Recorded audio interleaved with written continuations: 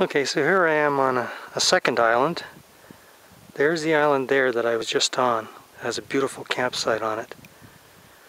And fortunately, this second island here also has a beautiful campsite on it.